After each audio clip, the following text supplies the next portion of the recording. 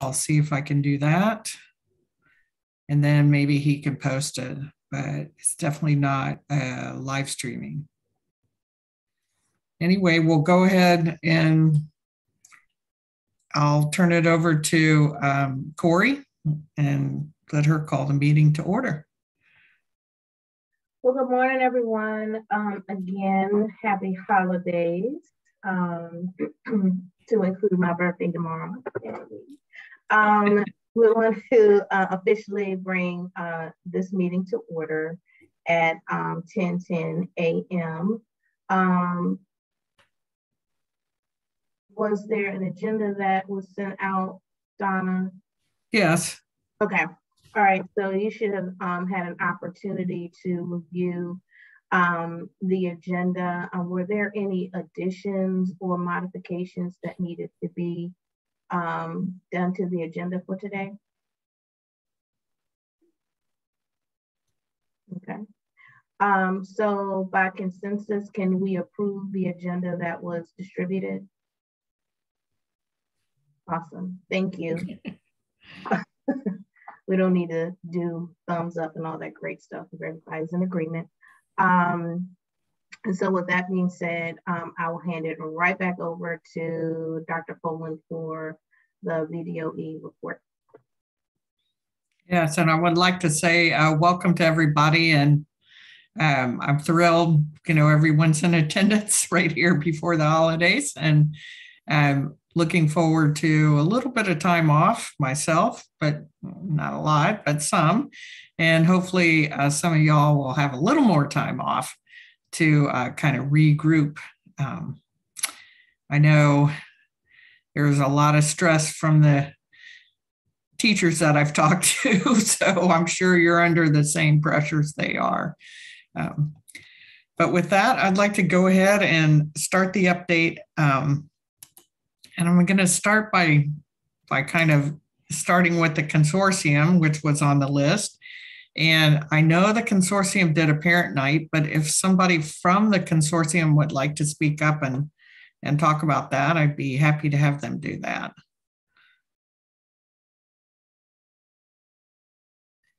I Just trying to see who here is on the consortium board.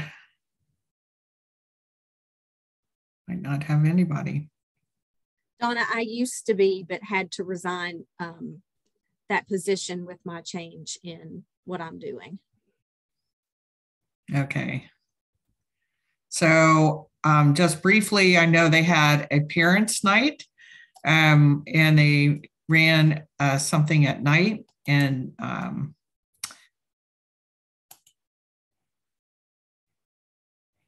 Dara, I see you have your hand up. It's hard for me to all this stuff on a little teeny screen.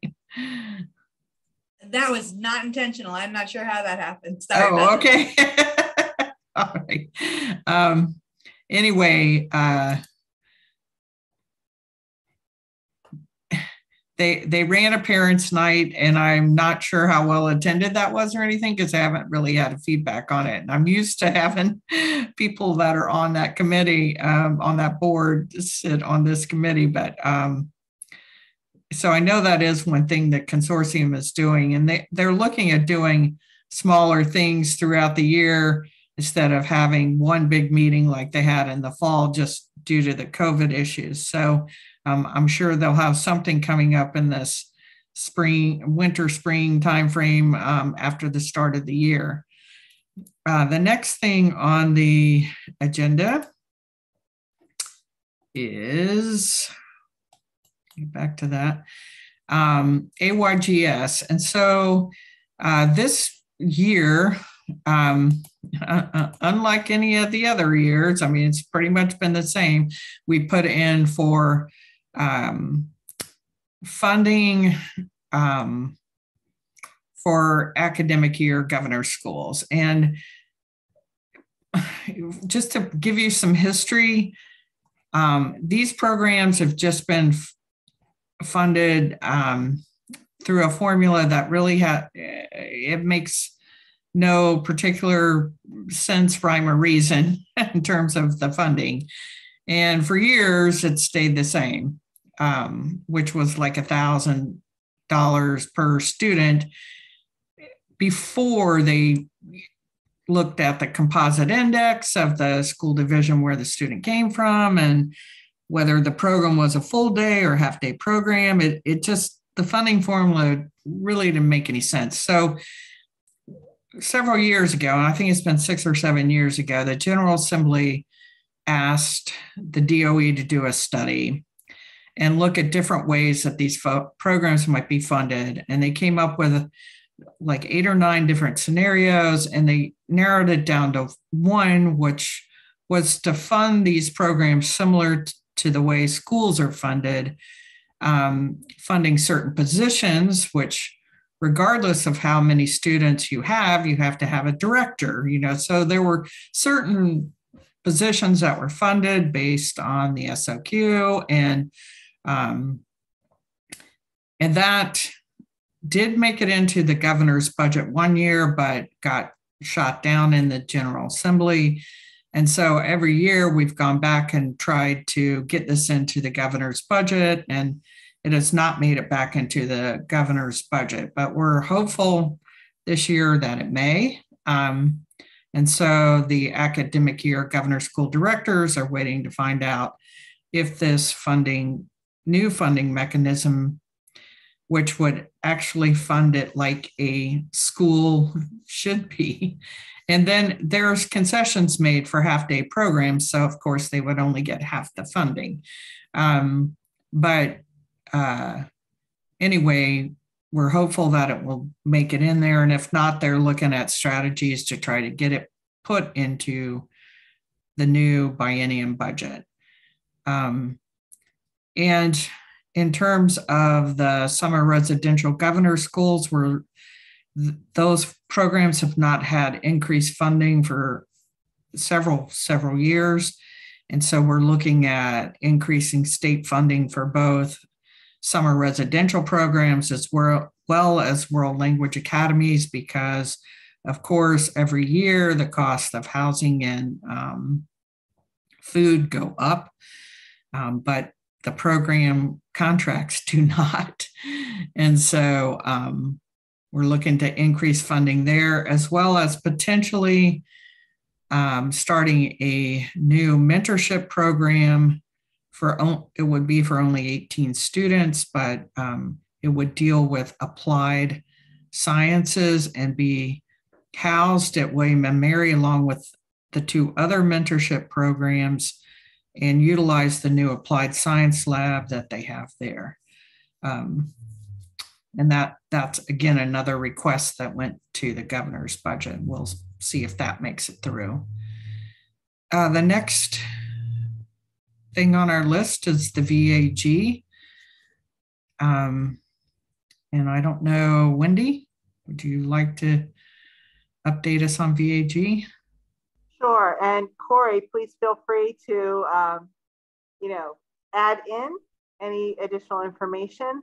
But in October, we had a wonderful parent evening and we had Dr. Susan Baum, who is really a leader in our field in the area of ser providing services for twice exceptional students. And she was wonderful. She talked about it, the, the idea or the top general topic was executive function and supporting them in developing their executive function skills.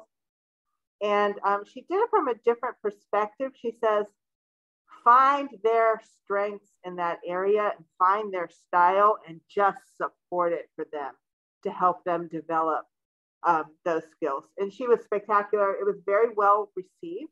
It was a free event, but I think that really helps us in terms of awareness and to let parents and families out in our state know that we are an organization there to help support them. So we had obviously a variety of you know, many parents there, but gifted educators as well and administrators. So we were very proud of that event.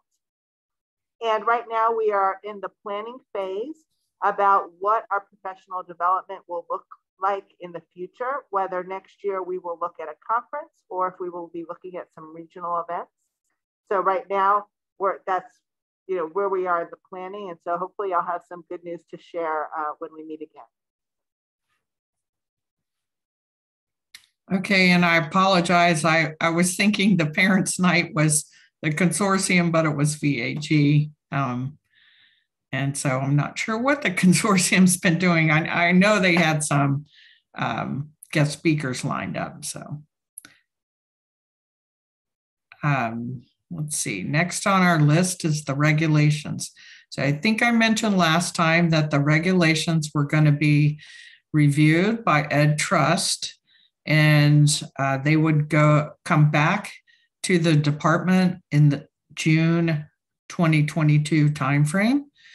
Um, I did meet with the person assigned to that, a grad student, uh, Brittany, and um, I'm not sure why, but her, her she um, came back a couple of weeks later and said her internship would end in December um, and she would not be continuing on in terms of working on this project.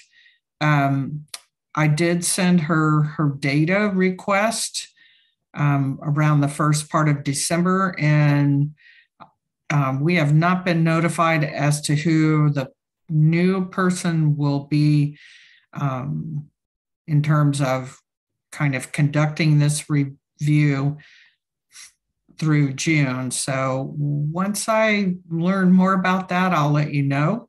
Um, but I know she she did indicate her internship was ending in December and someone else would be taking her place, but right now we just don't know who that is. Um, next thing on the list is the technical review. And these were, we have volunteers across the state. We paired them up in teams of three, sometimes four, and they um, were assigned a particular um, division's local plan to review, and those are due back to me by December. Um, while we have received some, there's probably more than half of them still left out. And so um, just waiting to get those back and, and um, you know, review them and send them out to the school divisions. Um, and then finally, well, not finally, but on our list of things is the annual report and the dashboard. And so um, the Virginia Department of Education has decided to make data available on a new dashboard format. And this will have some graphics tied to it. And so, right now, when you go online um, for enrollment data and demographics, you can call down a, I think it's an Excel spreadsheet. And um, some of the things that this new company AIS network will be doing. Well, I, I see I, have a, a, note. Let me see if I can get um, Tracy back as a panelist. Um, but AIS network is going to present the demographics um, and gifted will be added to that list. Currently, there's a lot of things you can pull down on the spreadsheet, but you can't get the gifted information. But what you will be able to get is um, uh, a comparison between the gifted information and the division information. So we won't go down to the school level like some of the data is allowed uh, allows you to select a school and look at it at a school level. You will not be able to do that with gifted, but you will be able to see it at the division level, and you will be able to see a comparison with um, the division level demographics. So it'll be like uh, how many um, students in the division are um, you know, a certain ethnicity, and then it will say how many students in the gifted program are a certain ethnicity, and it'll give you some kind of chart comparison. Um, but it is really it's very limited. There's not a lot of stuff. I know we had talked a lot about changing the annual report and what that might look like. Um, and then uh, there there's a lot a lot of things that we talked about that are not going to be there. It's just going to be the basic gifted information um, by ethnicity, by um, race, by gender, and potentially by um, twice exceptional, I think. I think it's the other thing. Um, and it may, I'm not sure there it will be free and reduced lunch, but um, anyway, I know Melanie asked, are they going to use the representation index formula? No, they are not. I argued for that and they opted, they said, no, we're just, we don't do that with anything else. And we aren't going to do that here. So, so it still might be, and, and there might be something for ELL. Yes, Lori. Um, there, there's still the potential once the regulations come back for us to make changes to the annual report. And I'm just kind of holding off on that because there's a lot of stuff going on with the new election.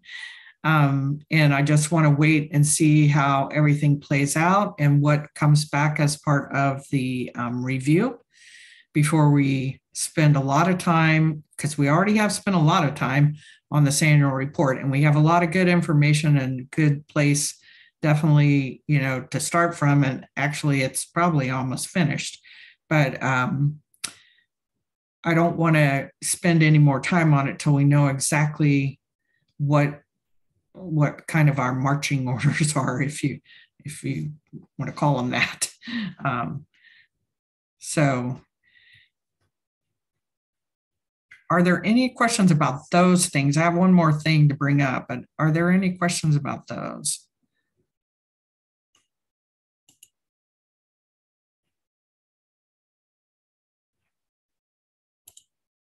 You can unmute yourself and just chime in.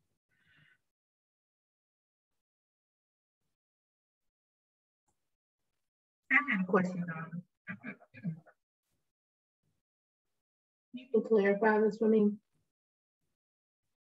The person who is reviewing the regulations for the state of Virginia, it's an internship project? So this was um, contracted through Ed Trust, Mhm. and the student um, was a graduate student, and this was an internship she was doing Mhm. with Ed Trust. Right. And and that's all I know. There's a- Other than she said her internship ended and someone else would be assigned to this. Okay. I, I just want clarification because I, I have some other questions later. Okay.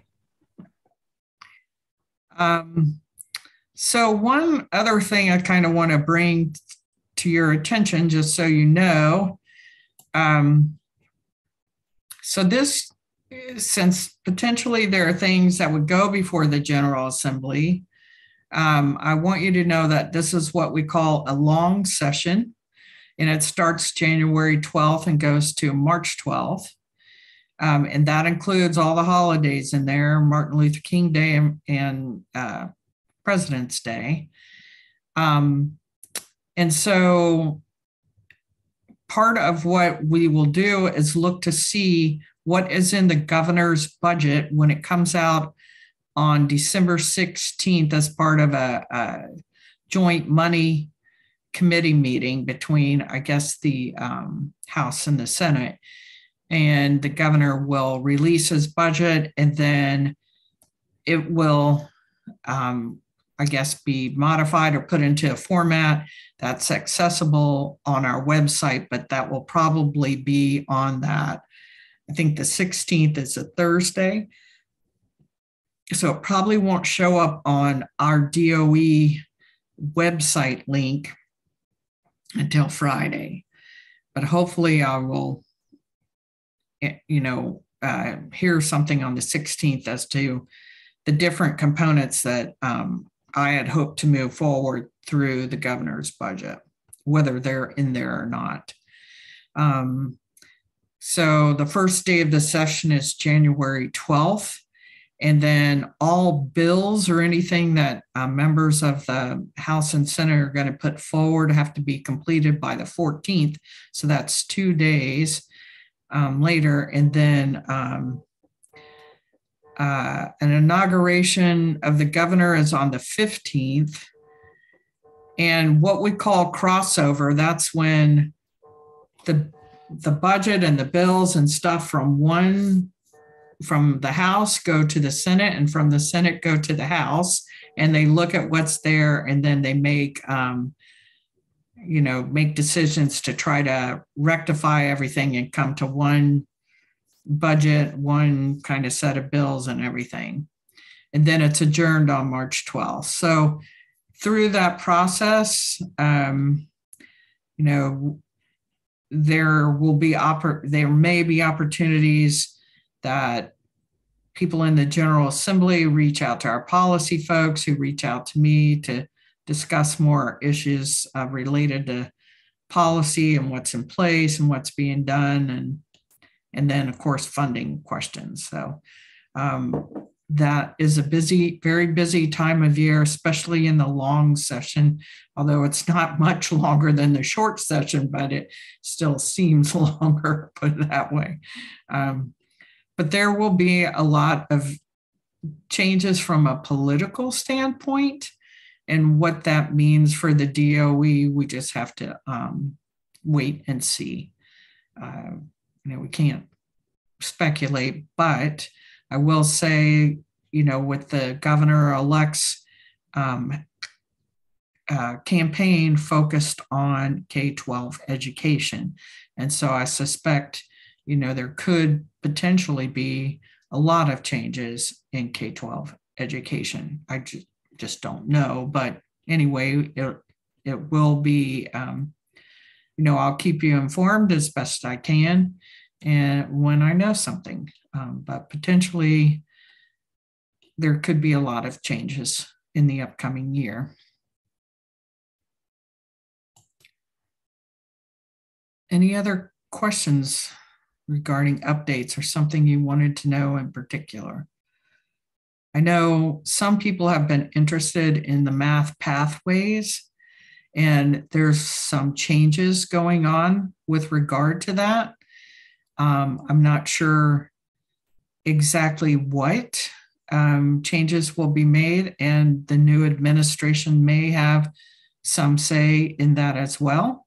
So I'm just kind of um, holding on to um, you know, to, to move forward with anything with gifted and the math pathways till we know exactly how that's going to work out.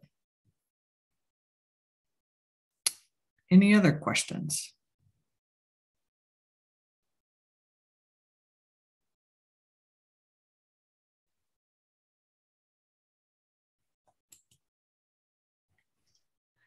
I have a question, Donna, in regards back to the um, dashboard and annual report. Will there be information about advanced coursework? Um, the model that we originally looked at showed access to those sorts of things. Will that be included or no? No. Okay. It will be, if you go online and look at the um, you have to go to enrollment and demographics. Um, and then it gives you a chance to like look at fall membership. Um, and there's just some very basic stuff about all students, you know, in, in the school divisions and stuff. And that is just that basic information is what will be provided with regard to gifted and they aren't looking at doing anything additional on our website, which doesn't mean that we can't have that available through SSWS for divisions as part of the annual report.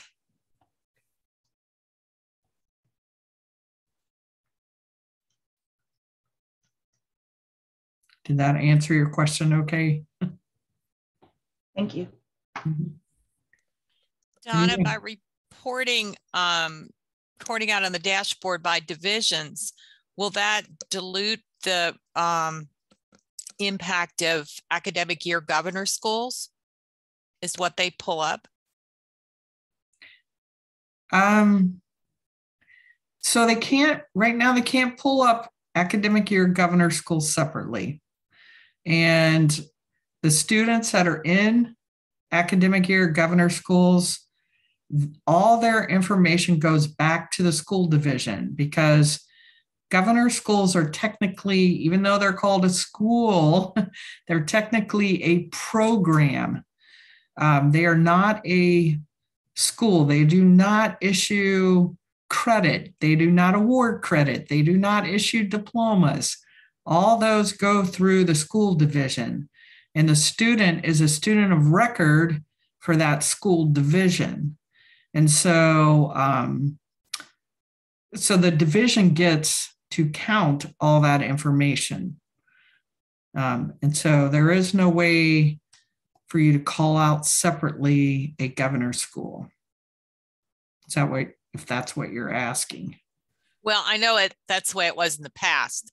I just wasn't sure currently if they um, had a way of reporting because it it does make it a little bit different. You can't data mine unless you go through the academic governor school information. That is correct. The governor school director would have to provide you with any kind of demographics that you may be requesting. Um, and, you know, one thing to always keep in mind with regard to that is that um, these schools, for the most part, are dependent on the school divisions to send them the students. They are not, um, you know, while they may score information or they may um, work with the divisions on a selection process, many of them are dependent on the divisions to say, these are the students we are going to send you. And so they may not have any impact um, in terms of, of the selection process. The other thing to note is um, while some division, some divisions demographics are very different. And so, um, you know, they, their, their demographics, while you say, well, they're not um, supporting, you know, diversity in this program, they may not have a very one diverse population in that school division. And then also, they may not have a very diverse population in the gifted program that helps provide a pathway to that. And that that's a whole nother issue that really we were hoping to address with our regulations. So, um, Melanie, I know you had your hand up for a question. Um, this question has come up uh, with our county as well, um, especially when we do um, nominate students who are from historically underserved uh, programs or, or communities rather, and they may be disadvantaged for all other reasons of not having access to opportunity. And then their participation then is limited based on the um, the governor's school application or adjudication process. And um, with it being dependent on the local on division or the local division that houses the governor's school, it somewhat um, leaves it up to chance without being some really intentional language and policy and practice around making sure that the governor's school program, which is to represent the entire state, uh, actually would represent the state. So I feel that um, by stating that it's dependent on the division to submit the students is a passive way of um, accepting or, or, or addressing that. And I think that there might be a more directive, uh, intentional way of, of supporting um, more diverse access and participation in the governor's school residential programs and um, academic school year program.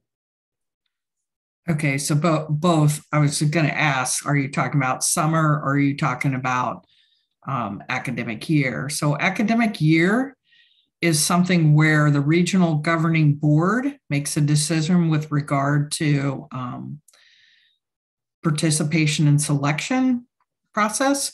So, I would say that um, gifted coordinators should be working with the mem- their member on the that governing board to make changes to academic year selection process.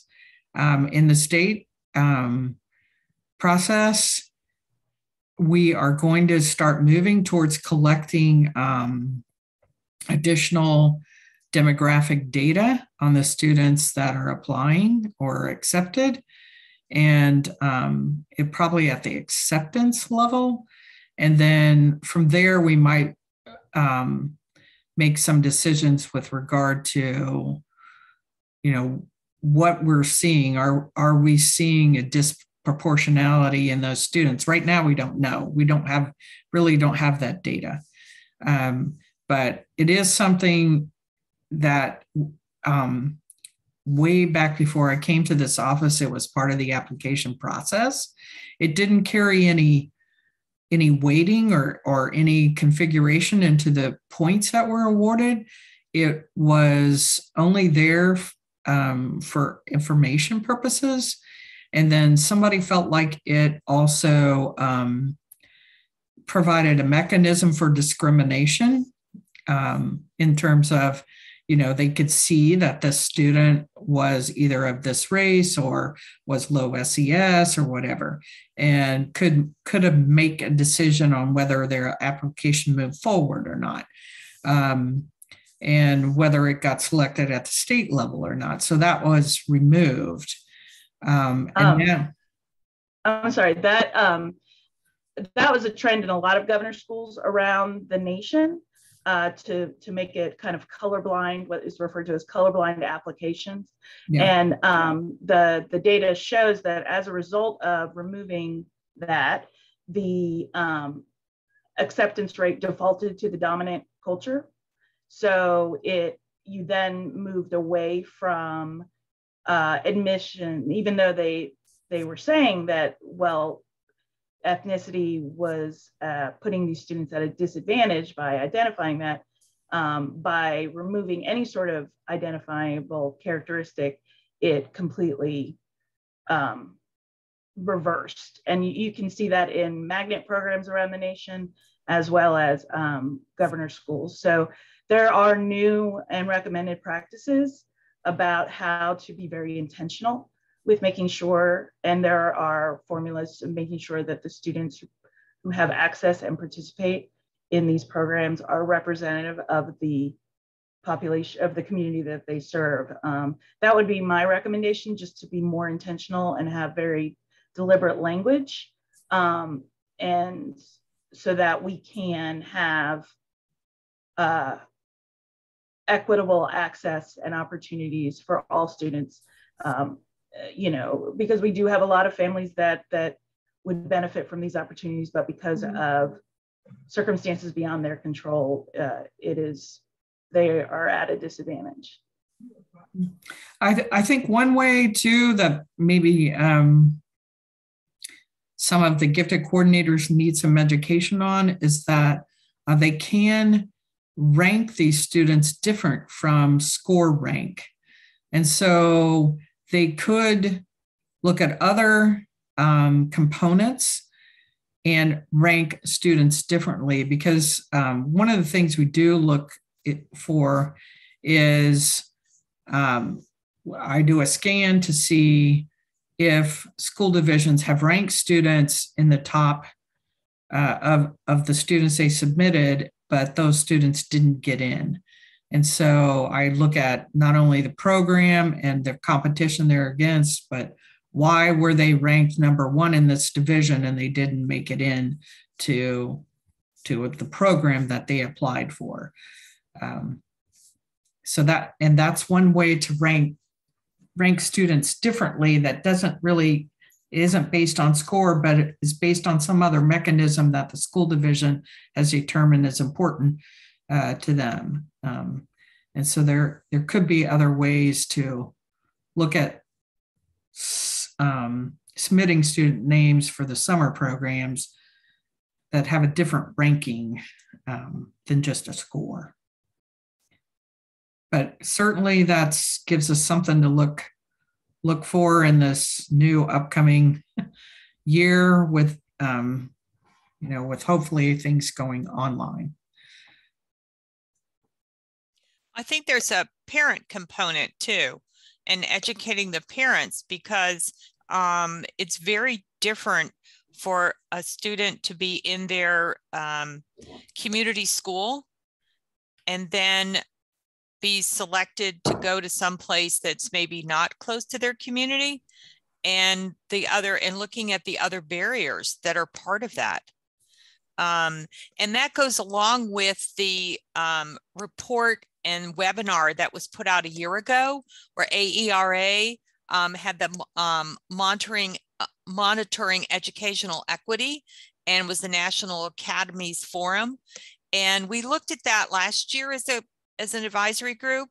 Um, and and their recommendations really broaden and, and pretty much say that, you know, we haven't listened to the students who have been part of a program or who have not been part of a program and and understanding more what that means within the demographics of the communities as melanie was saying that you know some things are not as global as we think they are from the research because the data that some of the research is pulling from doesn't give a full picture.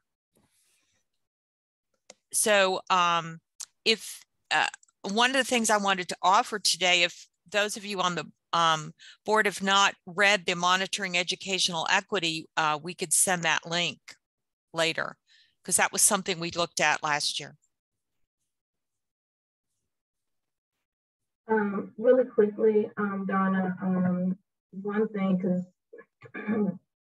because we just actually just finished, we're still in the process, of course, as you know, uh, with um, moving things forward with our, our students for uh, the summer residential governor's school programs. And um, as someone that's kind of on the front lines, it it's still you you have to drill down even further is it really is a branding situation, school by school, as well as providing access to those programs. So if they don't know about it, they're not going to apply. And so as a um, gifted education teacher, but also in the classroom with students who uh, would be right there in the pipeline to apply, um, you know, I, I did a pitch in class and talked to them about it, but then also um, providing just the access to the information and had a lead school counselor to do an email blast about the information as well as the principal shooting out information and reminding people about um, this opportunity that their student could be a part of.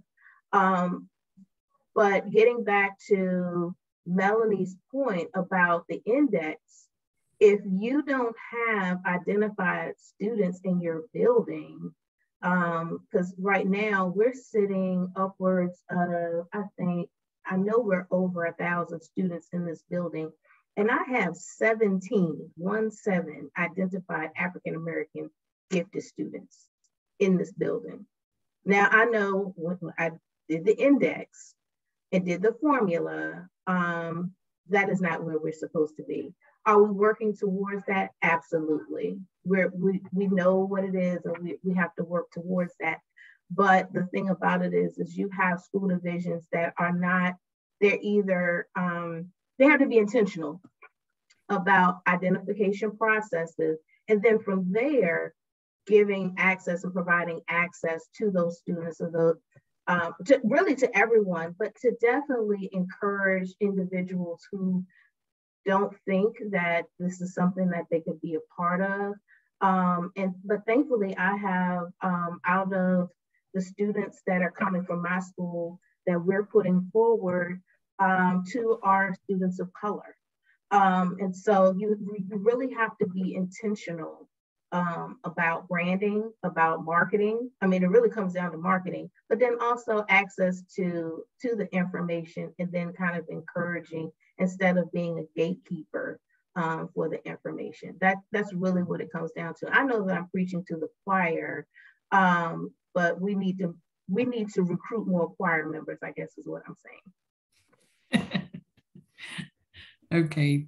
Thank you for those insights. And um, this may be something that I put a, a subcommittee together um, in the upcoming months. And we talk more about in terms of um, changes that might be done at the departmental level um, and how to, and reaching out to different organizations within the state to also get the word out as well. Um, anything else before we move on to the brainstorming part?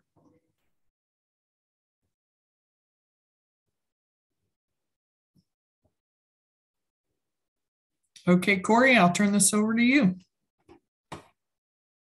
Thank you, Donna. So um, in kind of discussing how we were going to um, work through this portion um, of the agenda, uh, what we thought about doing was instead of doing breakout rooms, which I didn't know logistically we could do that, and I don't think Donna thought we could as well, is that we would um, make it more of a flipped sort of format. So that's why we sent out that information to you in terms of the top two topics that came back in the survey uh, that um, our committee was most interested in. And I'm trying to pull up my notes.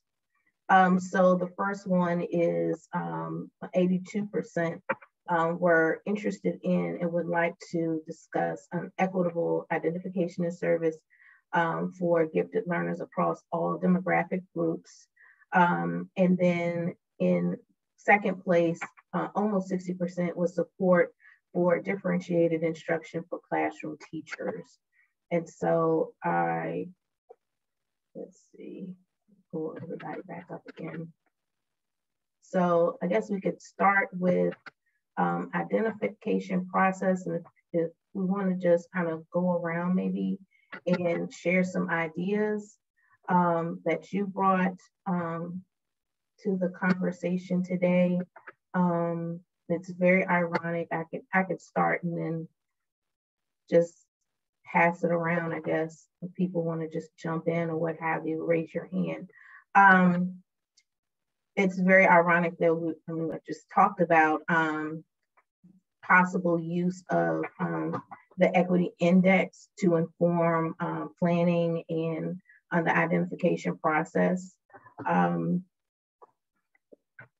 I mean, we've already talked about that, but I, I really don't know, and maybe someone could, could enlighten me, what is the trepidation in the use of the index? Because I'm not at that level. I'm, I'm in the classroom. So I'm not at the 30,000 foot view. So could someone enlighten me? It's we started using it uh, this year, and in the years past, the um, the way that they looked at the data, they looked at it as a, a parity. So you would take the whole of mm-hmm. children identified as gifted, and then within that number of students, basically comparing the different categorical demographic groups. So they're basically, you know, comparing, um, you know, Black students to Hispanic students to white students that are identified as gifted. The problem with that is that for, for divisions that have either um, do not have a an equal or or mm-hmm. a uh, maybe have more more population than other or or mm-hmm. anything mm-hmm. varied people would get the representation index is just a new way of thinking about it because mm-hmm. um, but it's it's just a, a, different step and it shows the data different but it it still shows that there is a um, disconnect and i think it's just an awareness element mm-hmm. um, for us. And and you know we were able to we have a data person for our division which i don't know if that's unusual. Um, and uh, so it must be unusual. And mm-hmm. so she does she does data analysis as well as um, data visualization for external consumption. So um, and that's really been very helpful. Mm-hmm. um, especially when you have a division that's focused on um, addressing issues of equity and access and culture responsive teaching. It gives us information so that we can make um, productive uh, decisions and mm-hmm. intentional practices. Mm-hmm. Um, so, and then, and I don't know if this answers your question, Corey, at all, um, but in regards to identification practices, and Albemarle County shifting to a more t- talent development model, which is, mm-hmm. I think, focused on all students' strengths. It, right. it makes it even more complicated because then you have to kind of redefine what the role of gifted, the gifted label is, right. um, and how and how does that play in the child's education. And so that's where the um, you know, like uh, the regulations, the state regulations come into play with that. Um, mm-hmm. and so that's that's some like 30,000 feet mm-hmm. considerations that have to happen.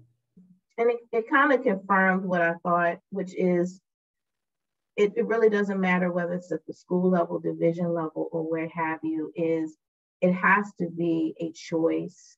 It has to be a programmatic thrust. It has to be intentional that this is something that we are going to focus on. Um, and that, that kind of comes up in in one of my other ideas or what have you. But it's it, it has to be a focus. Um, if they don't think that it's it's it's um, it's important, then it gets kind of pushed to the side. And so it's it's you kind of confirmed what I I, I, was thinking. Um, but at any rate, um, Dara, you have your hand.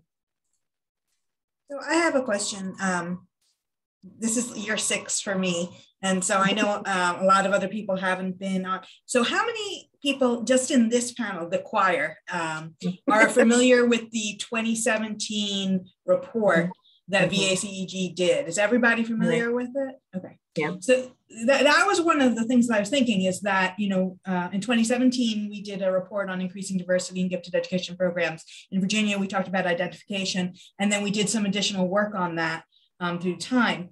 So I'm mm-hmm. wondering how far, how we get the word out, um, mm-hmm. how we communicate um, mm-hmm. this information, because I think that what I what I always wonder is how are we utilizing? We can create resources, we can create conversations, we can talk about it um, here. How do we get the word out in a way that is meaningful and that um, creates change? How do we become the change agent for this to happen at the division level? It's, it's a question. I don't have an answer for it, but I think that that's the question that I wonder because I think we can create right documentation. I think we can say this needs to be done. I don't know how we help to make it happen at the division level. Mm-hmm. Yeah, so Dara, just to real quick, and then I'll, I'll pass it um, on to Melanie, is that literally on in each one of these sections that I had, I have update reports for VDOE, but because we have some that um, have been, uh, that, that were completed and placed on the website that are over 10 years old, I think the newest one is the 2017 report that, that we worked on. Um, and so it, again, it comes back to we're doing the good work. now we need to let people know about the good work. I mean, it's, it's fantastic that it's on the website, but we've got to, again, recruit more choir members and get the word out about what it is that we're doing and point people in that direction that we we have some ideas, we have some resources available, but and here it is for public consumption. Melanie. So um, I think, and I'm I'm very proud of the work that that came before me with mm-hmm. like the work that Maureen Jensen did and and the folks in Albemarle County because um, there I think the the focus on uh, culturally responsive education has been uh, a important impetus to make some of these decisions and make some um, policy and practice changes. We, I think for other divisions, what I'm understanding is that, you know, because there's a lot of uh, scholarly research around uh, talent development, but to put it into practice is a is another conversation. And so, um, and that's what, you know, my team has been working on. And like, how do we articulate this so it is replicable in other settings? um, and and that's the there's got to be you know you have to create time for that like because how often do we sit down and say okay this is how i did this? Um, and then finding spaces to share that. Um, i i really believe in the work that that's happening in Albemarle county and I, our data around talent development is showing that we are reaching more students than through uh, the gifted child framework um, allowed access. So I don't, I mean, I would be willing to, to work and finding ways to, to communicate to the rest of the state or other division if that's a priority or if that's an interest. Um, it's just finding the the time and um, and you know that that part of it. But I I agree. Like there's a lot of great scholarly research. It's just um, having the the opportunity to interpret it and translate it to um, actionable steps as well as making sure all the stakeholders quite understand it um, mm-hmm. because it's a it's a huge paradigm shift for community for just as a nation even virginia when um, when we functioned for so long uh, with this perception of a gifted the gifted child uh, mm-hmm. as a, and so that's it's a complicated change so um, but i think it's definitely possible mm-hmm. Um, recently, I I met with one of the local school divisions in my area, and we just had a general conversation. They asked me to come in, and we talked about, you know, what are some key points of discussion in the literature, but also just you know applying it and it was a mm-hmm. great 45 minute session and they gave me really good feedback in that they just needed that boost to to you know just kind of refocus. My other point i wanted to bring up from this um, document of the monitoring equity um, i've been through it several times and one of the key things that i've been working on locally that i'm starting to see that maybe we we can we can open up um, to find out what the state's doing as far as informal education and how that's involved. That's one of the points that was mentioned is that we don't always see a gifted child with talents in the classroom the way they're sitting and what they're doing. They don't have a chance to share that. And I personally involved with a family development center once a week. And, and now we're to the point where the center is seeing some of these children and we're going back and having conversations with the schools mm-hmm. and if and and and some of that in in the um, resonated from that forum last year is that in some cases it's the after school programs the ymca programs um, people that are working with the children that need to be part of the conversation at some point or provide um, provide artifacts to show that you know Johnny really has shown all these things and and how can that be documented and shared? If I can I question. Okay. Hi Rebecca Musso here. I just have a question about that. Um in my county here in Stafford, we allow or we invite anybody to make recommendations and often seek that out. Am I misunderstanding? No, that's that's definitely what should be done. Right. So so it's a matter of um maybe um I guess bringing it to the forefront that those are one of the the ways that could be done that you know there may not be that that synergistic conversation that we think is there and that maybe as a group we show elements of how that's being done.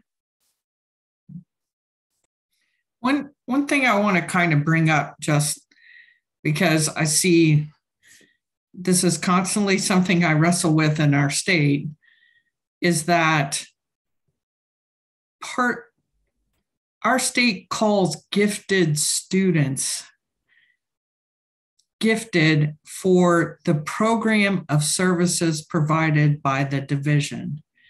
It's no reflection on how strong the student might be in any category of content area or skills and abilities other than what the division has decided is the area they're going to provide as a program of service. And it is very confusing for people to think that gifted in our state means the students who are either really smart in a certain area or smart or, or skilled at a certain level, you know, in the visual and performing arts. It does not. It only means the kids who are identified for the program of services offered by the division. And I try to make this very clear to parents as well that if your child is really smart in mathematics and the school division has decided that a gifted kid is only the kid who is smart in English, your child will not be identified gifted. And so when we start looking at trying to make sure that we have everybody on the same page in terms of all the divisions, we have to remember that their definition of a gifted student is not a universal definition like the child is really smart or has a high IQ or can play, you know, Bach at age three. I mean, there there's no there's no universal kind of understanding like people normally think, oh, gifted means this. It only means the kid who meets the qualifications for the program of services offered by the division. And maybe we need a different term, you know, to for our state instead of gifted. I, I don't know, but Donna, it, how does that translate if someone is moving from one division to another they um, can, along their education pathway? Yeah, they they can be gifted in one division and not in another. Yeah. Very easily, very easily. You know, Donna, and yes. What are our chances in Virginia of ha- of having some sort of statewide universal language and identification criteria. I know that Virginia, for a long time, has been very adamant that local divisions contain and and retain local control. But would mm-hmm. we ever have any opportunity to provide even some minimal baseline identification criteria or universal language? Uh, I mean, I can't say never, but our state has always gone for local control. And, you know, in some ways, that's a good thing. But it's very hard to explain to parents. And even, you know, I had a hard time explaining it to the judge when I testified for three hours that gifted is not just being smart or just having a high IQ or, you know, something like that. Um, I'm sure there are lots of kids that would qualify as gifted under some kind of universal screening, but don't at the school division level because they don't match up with the program of services offered. Um, and but you know that's hard for people to understand, especially when they're looking at data and they don't understand why are we not getting all these kids that they think they should get, but it has to do more with the definition and the program of services offered. And will we ever go to a statewide model? Like I said, sometimes it has its advantages. I can't see applying a statewide model to Fairfax County and the same exact thing to Lee County. I mean, it if the numbers aren't there to support programs and models and things like that, then there could be some, you know, difference in terms of the kinds of services that are offered mm-hmm. for the kids that are supposedly the same, you know. But um, I think if you read the reg, the one thing about the the most recent regulations is that there is very clear language within the areas. Um, what we're cha- what the challenge is, and this is um, something that we we would have to determine how to have control over it is or how to address it is that uh, everyone, as Donna said, is coming with their preconceived ideas of what this word, what the the word gifted means, and so um, even even within my own division, I found language, uh, front-facing language that was communicating the wrong thing. So so it's just about saying, you know, because being gifted in Albemarle County, it, we use general intellectual ability. But Charlottesville City, which is you know nestled right in Albemarle County, uses um, academic content, so subject specific. So even within the the region, it's very different, and um, it and so again, you can see the pros and cons of being very responsive to your community and what their values are.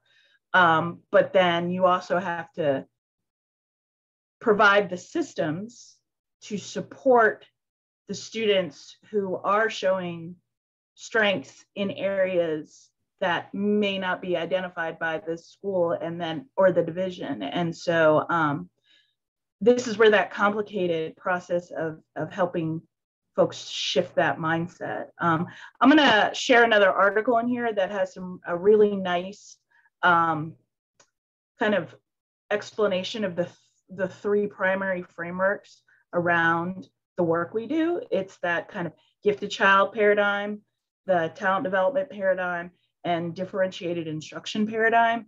And that really helps kind of us, gives us some language around like, what's the purpose of the services or program? Who receives the, per- the program or services? How do they get access? And what is it changing? So it's very tight. It's just a real, it's a good resource. So I'll share that and I'll stop talking. I just wanted to share um, that I, kind of think like the elephant in the room, like we've we've used the word choir quite a bit, and I do think that this choir is absolutely in support of having greater diversity and more equity in gifted education. I I I think like as a um, as a school board member that oftentimes you know like a lot of times we're responding to mandates and we're responding to um, what the public has told us are priorities, either by us surveying them or by public comment or those kinds of things. And I don't know yet if there's the public will that that we're really pursuing this, that we pursue this um, with fidelity. Um, so I, I guess like I'm looking at ways that we can we can make this more public so that there is more pressure um, put on like this is a priority. This is something that we're not paying a lot of attention to uh, in a lot of places. And this is something that that we need to um, because these are the outcomes if we don't. Um, so i just kind of wanted to put that out there for what it's worth. I i feel like it's like it, we're all kind of we're we're in support of this but until we get a greater support and i don't know i mean i'm sure you all have seen the news i mean with these last elections you know, there was a lot of talk about no CRT in our schools. Well, I think that this is all kind of interrelated. Um, you know, when when we start talking about how we want equity and gifted education, there's going to be an outcry of people who are thinking that this is a pie and that we're taking their slice. Um, and so I think that that's I, I don't know if that discussion belongs here, but I think until we address some of those things, I don't know how much progress we can really make. Yeah. I, mean, I think that was part of, you know, our our attempt at the regulations with the requirement that a new revised kind of annual report with data and comparisons and, and information would be presented to school boards um, to make this more of a public issue. Um, and that was our intent in the re- in the change as one of the changes in the regulations as well as the requirement for a talent development program for young students and in that way not only will we build to the strengths and see strengths of, of students that maybe school divisions hadn't seen in the past but also give them an opportunity to say hey we've missed this whole population of students that have this strength that we're not even addressing you know in our program model and it may be that their program model actually shifts you know based on the kinds of talents that they see at the younger grades and mm-hmm. And without those things in place you know it's i i feel like we're we're kind of taking the work that we did on identification across our state back in 2017 and trying to look at ways that we can maybe brainstorm how we can get that information maybe updated um, out to school divisions. Uh, and it may not be, you know, we only have two more meetings to be able to move that forward. Um, it could be, you know, by by June we have more insights on the regulations and how those are going to progress. Um, I just don't know. Right. It's it's there's definitely a thin line, um, Janet, um, across the board, whether you're in the classroom, you're in the front office, you're central office, or you're on the school board, there's a fine line. And the the reality is, is that you have um, technically, I wouldn't say technically, because it depends on the area. Um, you have a few squeaky wheels, but you have a, a large majority of individuals out there that support um, what we're doing, um, support what teachers are doing in the classroom, administrators, school board members, and the like. But at the same time, they're just scared. I'll just put it out there. I'll just go and call it what it is. They're scared. Um, that something is going to happen. Um, and I mean, I have to be perfectly honest with you in full transparency. I am very careful about what I say in the classroom, although I have been teaching To Kill a Mockingbird for a thousand years. This year is just different. It's just getting differently. And I mean, people have, you know, have that book on their shelves. It's a classic. and it's like all of a sudden I'm scared to talk about the topics that are included within it, the language that's included, the, for fear that somebody is going to call and ask questions. Um, but what pushes me forward is that there are important conversations that need to be had around any and all of these books, novels, what have you, um, that it, they just need to be had. Um, and it's funny that we're talking about the word gifted. I literally had a conversation with a student about that. And I said, just because you're gifted does not mean necessarily that you're you're utilizing those gifts wisely.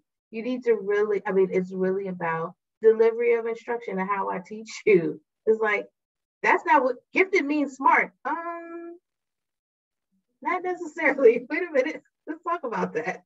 Let's have a conversation. Dara. Thing that I thought about um, is that with standard six, culturally responsive practices, um, I think it's uh, culturally responsive teaching and equitable practices, um, the sample performance indicators, if one of them included the word exceptionalities or gifted learners or something like that, like 6.2 um, talks about um, fostering access and achievement across uh, race, ethnicity, English language learners, students with disabilities. What if you actually had in there students with exceptionalities or, or gifted learners or something? Um, because I think that's how we start to infuse this idea that these are a population of students that can't be ignored. So um, I was just trying to think of different action steps, and uh, I, I, I was looking at that um, uh, that one post that um, somebody put in about critical race theory and culturally responsive teaching having that same acronym, and how sad it is that people misunderstand and misrepresent um, what that looks like. But how do we how do we go beyond that to really capitalize on culturally responsive teaching in gifted education so i think that um, i don't know what the possibilities of adding to that guidance document are uh, donna you would know that but but i'm trying to think of like valuable ways where people are going to have to actually access that information and use it um, on a more global way just an idea so derek can i just shoot something really quickly to you, um, and it's it's something that um, Melanie's division is already doing, just like even more broadly that we're doing a book study using Dr. Hammond's book. Um, it was put on pause, sadly. Um, it's supposed to be picked back up next school year. I think that's for a couple of different reasons. You know, let's just breathe a little bit. Um, but people are encouraged to continue to read and um, study the book as well as incorporate um, different strategies that are within it, within their own teaching practices. Um, but again, it has to be intentional. It has to be, um, this is something that we are going to do. And it was pushed system wide. Were teachers upset about it? Yes, they were, because somebody told them that they had to do something that they may not necessarily have wanted to do but was good for them. It's like cough medicine. So, um, but it is something that um, was intentional. I think we are going to pick it back up um, next school year, um, but it, it has to be something like that, um, you know, along those lines. Um, I, I want to make sure that we hit um, our conversation about uh, uh, and around differentiated instruction. That was another key topic that came up um, in our survey. Um, and I, I, mean, I'll just throw it out to you all because I'm sure that the some of the my ideas are um, things that you all would come up with, but the the two that um, again, speaking on um, intentionality um, is providing um, professional development, not just to gifted teachers, but to all teachers, um, because they're in the classroom with all of our students. Um, and then also providing um, uh, information, temp lesson planning templates, research-based strategies, that's that sort of thing at all levels. Um, I know in our division, there there was at one point, and it, it's starting to kind of move through the pipeline, but there is a concerted like sort of emphasis on elementary school because I know that that's where a lot of students are identified. But by the get by the time they get to middle school, it gets a little shaky, and then they you know they come to a high school classroom, and then they again have a dedicated resource teacher essentially in the classroom. Um, so one of the things that I'm, I'm talking about is basically, you know, tool, a toolkit, if you will. I hate to use that word because it's overused, but something that um, teachers can go to for resources not just those that are not identified, that are certified as, as gifted teachers, but those who teach gifted students so they can provide um, scaffolding, that sort of thing within their own classroom, but at all three levels um, in education. But then also what was helpful for me, and this is how I actually became certified, is looking for opportunities to partner with local universities um, or, um, you know, to provide some sort of cohort um, group to get certified in gifted education. Um, in the before times, way before the, um, not just the pandemic, but um, when we are the recession, I was able to get my certification through UVA um, and when I was working uh, in Henrico County Public Schools. And so just looking for opportunities where we can um, kind of um, look for teachers who might be interested in getting um, that sort of um, training and background um, and partnering with local universities. Some, some do that, but then others do not.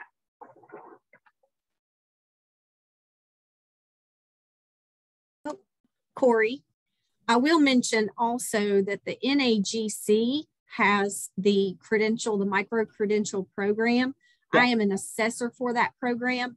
We mm-hmm. started and then when COVID hit that everything was sort of put to the wayside. I can inform the group we have a meeting, those of us who are currently NAGC credential assessors, we have a meeting next week and we are going to lift that program back up off the ground. So after our winter break in the new year, I should be able to provide the group um, with information about how teachers can sign up for and participate in the NAGC micro credential program for gifted ed. So that will be an option. Um, it didn't die, it's coming back. So that's a good thing. And, and just to dovetail off of that, the um, State Department is also looking at micro credentials and how um, how they will uh, be utilized in the future by the State Department's um, teacher licensure area and what that means and and um, you know what the options are going to be and that that is something that is um, going to start more detailed discussion later on um, a- after the start of the new year.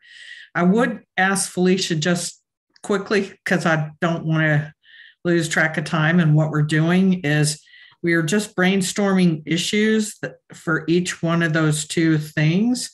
And i think you know one of the major things i got um, out of the first one identification was really getting the word out and what does it mean and that kind of thing. But can you provide, Felicia, for us what you have in the notes with regard to um, items that we brainstormed under that category, and then maybe just the few items that um, Corey's already mentioned for differentiation, and then so that we get back on track with getting any other ideas that we might want to list here, because that will help us think about how we approach this in the future. Mm-hmm. Okay, so to begin with, I think that we could, when it comes to equitable representation and identification, we could maybe revisit that 2017 report. I don't know if we would want to make a subcommittee to do that on diversity, and we could look at how, in light of um, the regulations being on hold currently, we may want to go ahead and think about if those do not go through, couple those ideas from the report with the current regs, what tweaks could we make there? I think we could also look at how can we take the information from that report and share with local divisions? How can we put that back on their radar so that administrators parents, school board members, teachers, everyone in the community understands what gifted is, how it pertains to their division, and how we are looking to possibly move forward. Okay. For the um, differentiation in the professional development, I think that we could look at maybe compiling some sort of a resource for school divisions, for teachers. Um, we may want to also reach out to the regional consortiums and the state consortium. So we could look at what resources are they providing for professional development. I know Region 7 provides um, typically once a month, they have some sort of PD session either for administrators or teachers. Could that be shared statewide? The state consortium, when I was still on the board, we were doing like every other month, we were having some sort of PD session.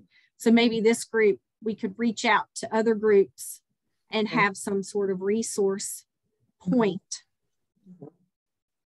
either a page or a document so that school mm-hmm. divisions can say, okay, this is going on this day. We have this PD session going on this day. We have um, these universities who offer classes. Here's how you can get in touch with them. Here's the NAGC information if you want to use that for professional development. I think if we were able to package everything up neat and nice and give it to divisions and say, here, this is how you can provide some resources and support for your teachers. Um, so Felicia, on our on our website, we have um, some things that we might want to go back and look at some of the publications that, as a committee, we've um, that we've done in the past. Um, a couple of um, cycles um, ago, we have there are some resources on um, the VDOE website for students at the middle school level, the high school mm -hmm. level um, and other levels, different um, pockets. So we might want to just kind of definitely, whenever we put together these subgroups, that, mm-hmm. that is something that they make sure that they kind of look at um, because it's it, it might not be a situation where we have to like reinvent the wheel, but it's more of a refreshing of information um, that we've already put together um, and just kind of tweaking. Um, in in addition, um, we have um, information from Project Promise on the website, but there may be some others where we're talking uh, different organizations or um, toolkits that we can put together. That might be where we could house that information when we put mm-hmm. together that particular subgroup as well. And I think with some of the information that already exists, because turnover is so frequent in gifted ed in Virginia, some of the people who are the division point person for gifted don't even know that these things are out there. So if we had a way to say, here's your resource document for middle level gifted learners, um, I think it would be a nice way for us to package it all together and say, here you go.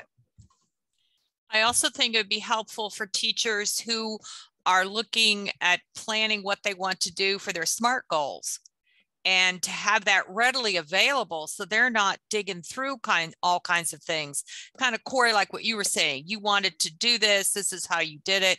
So here's an example of a pathway and um, i think it would probably support them a lot better having that readily available and be checked off a lot quicker with their division principal i mean building principal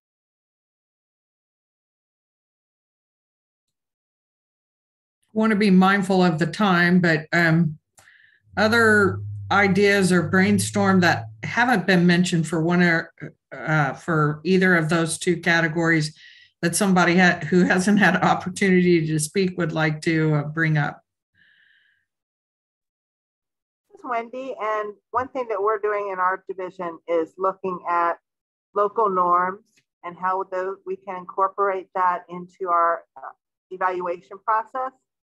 And I would love to put together a list of resources or some type of guiding document um, in that area.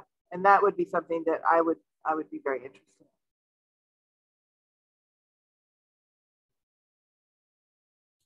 I agree. That's regardless of whatever way our, our regulations move forward. Um, I think that some kind of document around local norms is would, would be extremely helpful.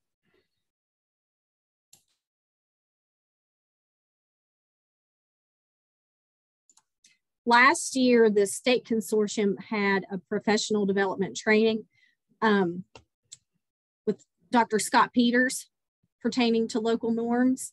And we do have a recording of that. I'm not sure where I could share it. I know it's on the state consortium website, but it might be that we could cross link that to this group's website as well.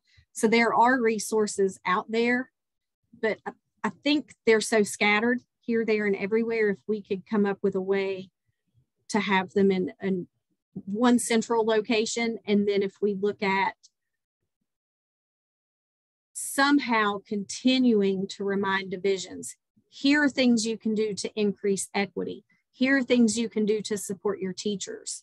We can't just push it out there and then let it be. We have to give them these continual reminders of this is important. This is how you address this. Because if not, gifted's just going to go to the back of their mind like it often does, unfortunately.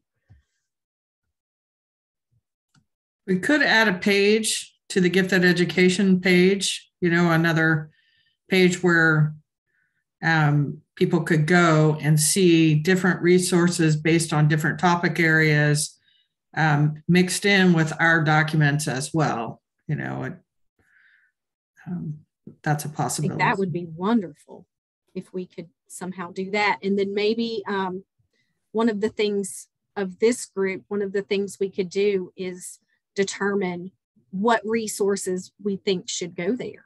That right, right. Yeah. Yeah, that's, you know, whether they be ones we created, ones we have modified and, and redone here recent, you know, to put in there for, for specifically for this, um, or um, links to outside resources that we find helpful. Um, I, I think, you know, there's certainly opportunity to do that. Um, really quickly, Donna, before we move on to reports from um, representative groups, um, another um, idea that I had um, is, I mean, and this is kind of going along with what Felicia said about um, the recording that Dr. Peters has done is um, maybe invite experts in specifically differentiated learning, like Dr. Tomlinson and others, to maybe do a webinar that could be, again, linked to our website, um, specifically on differentiated learning as it relates to um, gifted students. So just, just, just another idea that I just want to throw out there. Um, are there any other um, any other comments before we move on? I'm pretty excited about the subcommittees. That's where the work is done, is it not, Tom?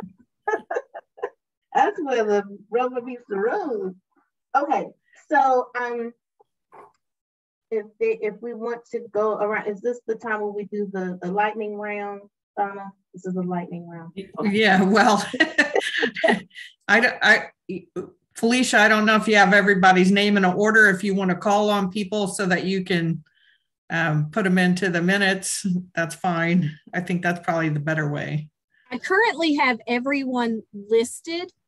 Um, I went ahead and copied and pasted. And so if it's, they're in no particular order. Okay. So Corey, Corey, do you want me to go ahead and just call names? Yes, ma'am. Okay. All right. So first we have Christine Hill.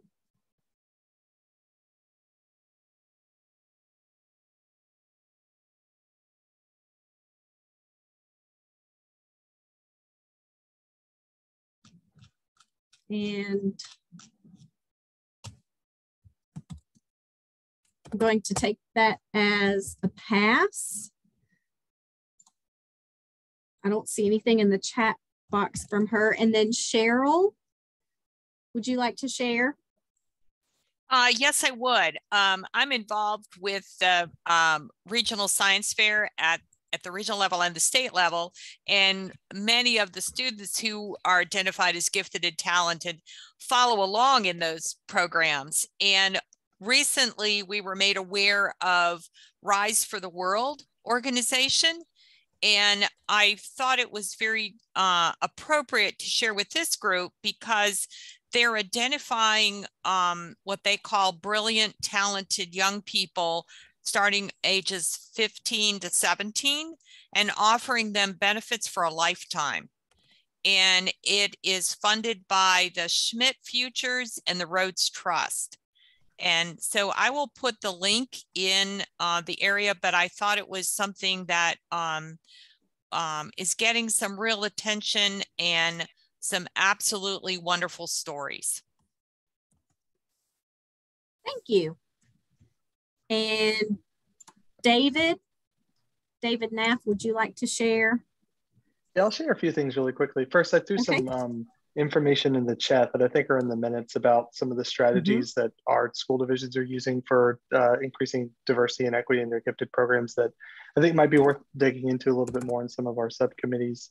Um, and I'm going to throw some links in the chat, but um, we recently hosted a, a, seminar that might be of interest about how COVID-19 has impacted the mental health of PK-12 students. We've been doing some uh, deep dive research on this, so I'll, I'll share that in the chat. And then we have a series of uh, seminars that are coming up in the spring that are focused on um, issues related to teacher retention during the pandemic, which has definitely been a, a big, uh, it's always a critical issue, but especially in the wake of COVID-19, something for us to consider. So um, I'll share some information in the chat for anybody who might be interested in those resources. Thank you. James. Okay. James, uh, no, there's James. Yeah, sorry, I was muted and I always forget to unmute myself uh, before I talk. Uh, really, not much. The only thing uh, that uh, we to really report that might be of interest, uh, we have a diversity report and goals on accessible on our website since this issue came up and it has the demographics listed of the students who actually apply uh, to the governor school for the program, and then also the uh, demographics of the students who have been accepted to the program. Very yeah. nice. Thank you. Yeah. And if there is going to be a subcommittee about trying to uh, encourage the middle schools to uh, have students apply to governor schools, whether they're the, the part-time or full-time, I would definitely be willing to serve on that one because actually I'm the student recruiter for our school and I've been doing it for a number of years. And yeah, we need to get the word out. Sorry. I agree. Thank you. And then Liza. Thank you. It's Lisa. Um, Lisa. It's okay. Um, so different things happening here in Alexandria. Um, we are revising our school board policy and regulations for gifted education. Um, it's very dated, almost 20 years old. And our populations have changed a lot. And, and because of that, we have a lot of issues right now with the um, identification process that we are we, we have in place. So um, that's one thing. I'm part of that committee. The other one is the tag advisory committee for acp ACPS we are also just making these two actually topics that we have as a focus with this committee is uh, our, our same topics of focus. So this is wonderful. And um, something that is just right now we just um, um, started that work as school principals is looking at handover research um, and our uh, data on the diversity and the representation of our populations um, for these different specialized programs. So different things happening here. Um, hopefully, you know, align with everything that we're doing here in this committee. Thank you. And I, I think I saw Lori said she will pass. And then Melanie. Um, I've spoken a lot today, but a, a little self promotion. Um, I was interviewed about talent development in uh, online. Um, uh, let me see if I can find it. Uh, around just changing gifted ed. Um, and I'll share that with you. Uh, it was very, um, it was very informative, and you know, I'm kind of proud of. At least I sounded somewhat composed. So. Oh, fantastic! Thank you. And then I think I saw Megan said pass and Rebecca, Rebecca said pass. Let's see, Shelly. Yeah, sure. Uh, I don't have much, uh, just to report that um, taking a look at our identification uh, processes and data is a part of our equity work in Frederick County. Okay, thank you.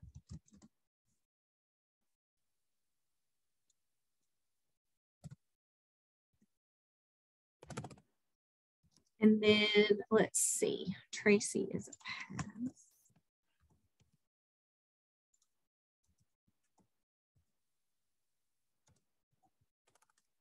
Okay, and then Wendy. I would just like to share that in our division, we're very fortunate to have a grant from the Jack Kent Cooke Foundation to support our talent development efforts.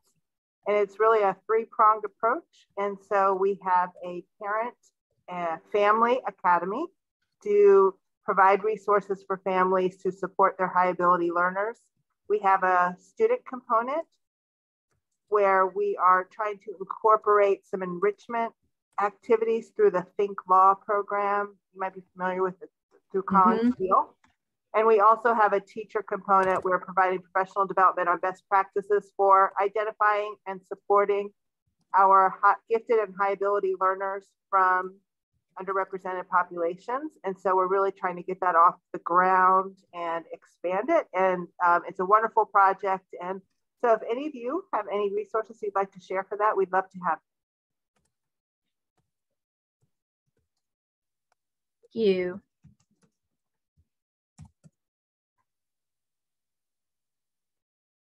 I'm going to pass. I did share the thing about the NAGC credentials. Corey, do you want to share?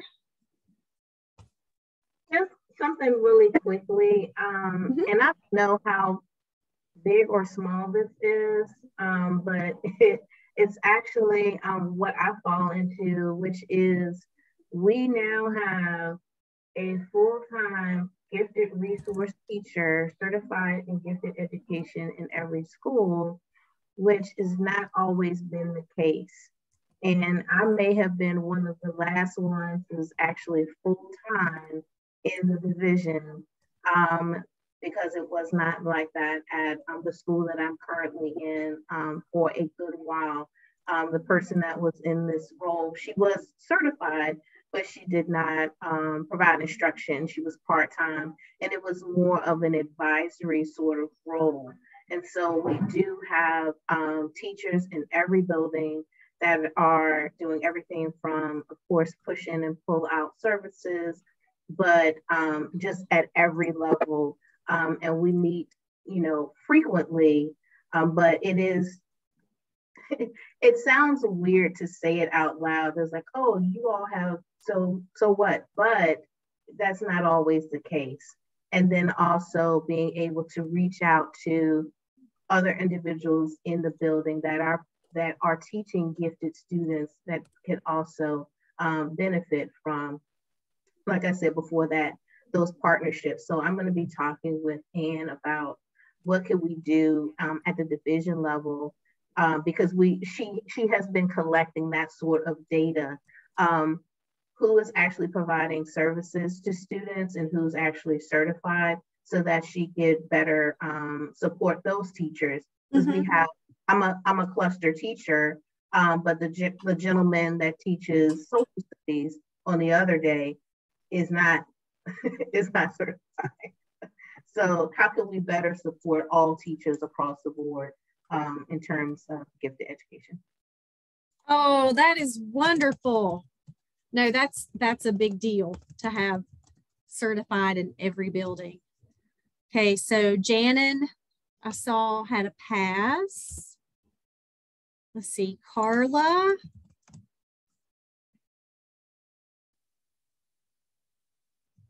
She passed. Okay. Yeah, I, I passed. Sorry. Okay. And then Roseanne.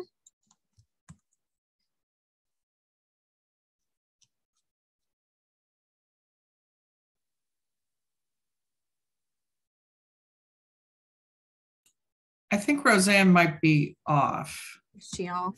Yeah. Okay. And then Dara had a pass and Kim wanted to pass. Is there anyone who I missed or who would like to chime in? It's okay. Did I miss anyone?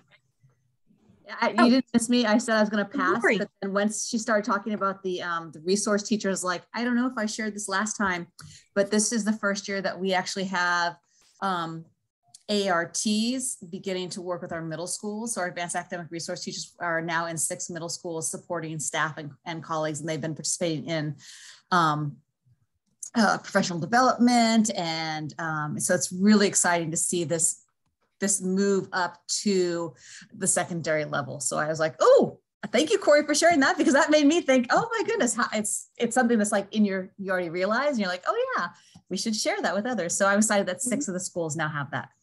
Oh, fantastic. Okay, so did I miss anyone else? Did everyone have a chance? I'm going to share out something. Okay. Um, so, kind of behind the scenes, we've been working on um, a toolkit for twice exceptional uh, teacher for teachers um, to look at, and so it'll it'll really even provide some basic um, strategies and then explain more about the each strategy. You'll be able to click on a strategy on the index, and it'll take you straight to that strategy um, and some lesson plan samples and things like that. So um, we're looking at having that posted on the website, both on the um, SPED page as well as the gifted page as a resource um, sometime in late January, early February timeframe. But um, you know, I think it'll be helpful. It'll it'll be uh, user friendly for the teachers to be able to go in and access that. Um, Fantastic. Okay, so I think we got everyone. And so Corey, I'm going to send it back over to you. So um, I'll take the lead on this because we do, I did send it out to you individually, but I want to read it so that it is part of the recorded um, um, meeting. So it was an email and it says, Hi, on behalf of the anti racist alumni of Maggie Walker Governor School, we are writing to the Virginia Advisory Council for the Education of the Gifted with a couple of our concerns. One, we are significantly concerned about the potential blocking the local control over admission practices with the new administration taking over in January. Maggie Walker Governor School has started making important steps towards making their admission process more equitable, and we don't want this progress to be upended by new statewide mandates that prevent these research based updates. Number two, we would like to push for clearer demographic and enrollment data reporting of governor schools through the Virginia Department of Education. Currently, these data are only reported at the county level first, meaning that any governor school with multi county enrollment does not have publicly available annual enrollment data. Thank you. Best regards, Rachel Savoy Caldwell, and then there's a link to um, the Maggie Walker site. And all this will be copied and pasted into the minutes as well. Um, and at this time, I'll turn it back over to um, Corey. Well, thank you, um, Donna, and thank you all for coming today. Um, just a quick reminder that our next meeting is February the 11th. I believe that should be at the at the bottom of your agenda. I'm sure that Donna will let us know um, if this will be face to face or if this is going to be um, virtual um, as we've been conducting it so far this year. Um, but I want to thank you all for coming in. Um, we look forward to um, putting together those subcommittees so we can uh, do some good work together. Thank you all for coming today. You all have a wonderful holiday season. We'll see you on the other side. Bye, guys. Thank you.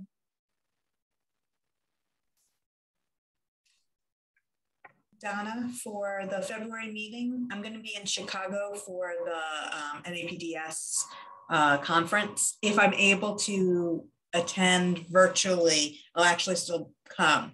And if I, unless I'm presenting that morning. So